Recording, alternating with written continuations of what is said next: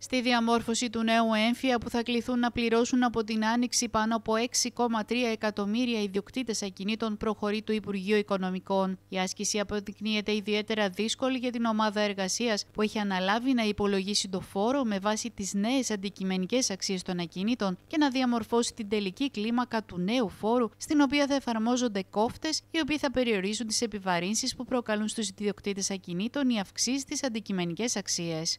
Φεβρουαρίου ναι. θα τελειώσει η καταβολή του προηγούμενου έμφυα. Ναι. Πληρώνεται η τελευταία δόση. Και το Υπουργείο φέτος ε, αποφάσισε από την αρχή ε, του Μαρτίου, έτσι έχει αποφασίσει να δούμε αν θα τα καταφέρουν, να βγάλει τον καινούριο έμφυα ώστε να πληρωθεί σε 10 δόσεις ο νέος έμφυα θα ξεκινήσουμε από Μάρτιο και θα πληρώνουμε μέχρι τέλος του Δεκεμβρίου. Μάλιστα. Για τις... Βέβαια, ναι, ναι. βέβαια δεν έχει βγει ακόμα. Είναι μια πολύ δύσκολη άσκηση γιατί έχουν αλλάξει οι αντικειμενικές αξίες. Πρέπει να υπολογιστεί εκ νέου, να μην υπάρχουν υπερβολικές επιβαρύνσεις για τους ε, φορολογούμενους και όλα αυτά τα πράγματα προσπαθεί να τα ισορροπήσει το Υπουργείο να νομοθετήσει μέσα στο Φεβρουάριο ώστε να βασιστεί πάνω σε αυτά η ΑΔΕ και να υπολογίσει το νέο έμφυα. Ο φόρο θα υπολογιστεί με βάση την αξία της ακίνητης περιουσίας που έχει στην κατοχή του ο κάθε φορολογούμενος μέχρι και την 1η Ιανουαρίου του 2022. Αυτοί που αναμένεται να πληρώσουν περισσότερο φόρο συγκριτικά με το 2021 είναι οι ιδιοκτήτες ενός ακινήτου σε περιοχή όπου επέρχεται πολύ μεγάλη αύξηση στη τιμή ζώνης. Στους χαμένους θα είναι κατά κύριο λόγο οι ιδιοκτήτες ακινήτων στις ζώνες που μπήκαν για πρώτη φορά στο αντικειμενικό σύστημα, καθώς οι αυξήσεις στις τιμές θα φτάσουν έως και 250%. Ο έμφυα, ο φετινός έμφυα θα υπολογιστεί για τα ακίνητα που υπάρχουν στην κατοχή μας την 1η Πρώτου του 2022. Ναι.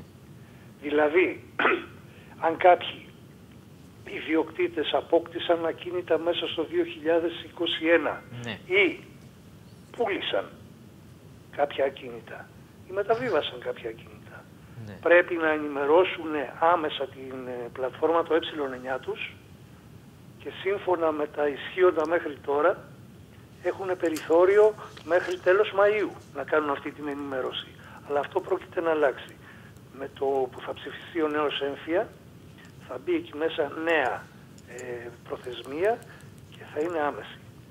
Καλό είναι να πάνε τώρα στο λογιστή τους όσο υπάρχει ακόμα χρόνος και να ενημερώσουν το ε9 τους. Αντιμέτωποι με πρόστιμα και κυρώσεις θα βρεθούν φέτος οι επιχειρήσεις και οι επαγγελματίες που δεν θα τηρούν τα χρονοδιαγράμματα και δεν θα διαβιβάσουν στην ηλεκτρονική πλατφόρμα MyData τα στοιχεία και τα τιμολόγια που εκδίδουν. Παρά την προσπάθεια των φορολογουμένων να προσαρμοστούν στα νέα δεδομένα, τα προβλήματα παραμένουν μεγάλα. Η διάταξη με την οποία ορίζονται τα πρόστιμα και οι κυρώσεις για όσους δεν τηρούν ηλεκτρονικά βιβλία, καθώς και ο χρόνος ενεργοποίησής τους, είναι έτοιμη και αναμένεται να κατατεθεί στη Βουλή. Φέτος γίνεται μια επανάσταση εντός εισαγωγικών με την καθιέρωση του, της πλατφόρμας MyData.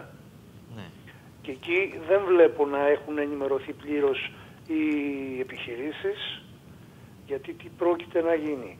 Όλες πρέπει να μηχανογραφηθούν και τα παραστατικά τα οποία εκδίδουν για να αποτυπώσουν τα έσοδά τους πρέπει σε ρεαλιστικό χρόνο, σε πραγματικό χρόνο να ανεβαίνουν ταυτόχρονα σε μια πλατφόρμα του, της ε, ΑΔΕ ώστε να ξέρει ανα πάσα στιγμή το Υπουργείο Οικονομικών μέσω της ΑΔΕ τα έσοδα κάθε επιχείρησης. Αυτό λέτε δεν έχει προχωρήσει κύριε Καρατσιόρα, ε; δεν υπάρχει αυτό, αυτή η ενημέρωση. Αυτό έχει, γι' αυτό έχει δοθεί μια παράταση, ναι. τα έσοδα του 2021 να ανέβουν μέχρι τέλος Μαρτίου, αλλά από πρώτης πρώτου ισχύουν κανονικά. Ισχύει κανονικά η διάταξη που λέει ότι πρέπει να ανεβαίνουν. Βέβαια, δεν έχουν οριστεί ποινές για αυτούς που δεν τα ανεβάζουν.